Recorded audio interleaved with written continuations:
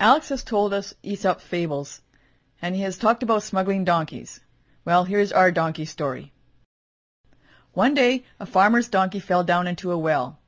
The jackass cried piteously for hours as the farmer tried to figure out what to do. Finally, he decided that the animal was old, and the well needed to be covered up anyway. It just wasn't worth it to retrieve the donkey. He invited his neighbors to come over and help him out. They each grabbed a shovel and began to shovel dirt into the well. At first, the donkey realized what was happening and cried horribly. Then, to everyone's amazement, he quieted down. A few shovel loads later, the farmer finally looked down the well. He was astonished at what he saw.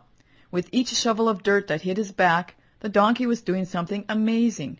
He would shake it off and take a step up. As the farmer and his neighbors continued to shovel dirt on top of the animal, he would shake it off and take a step up. Pretty soon, everyone was amazed as the donkey stepped over the edge of the well and happily trotted off.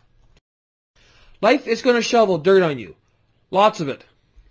The trick to getting along well is to shake it off and take a step up.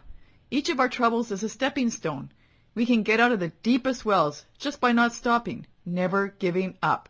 Shake it off and take a step up. But that's not the end of the story. The donkey later came back and bit the heck out of the farmer. The gashes from the bites became extremely infected, and the farmer eventually died in extreme agony from septic shock.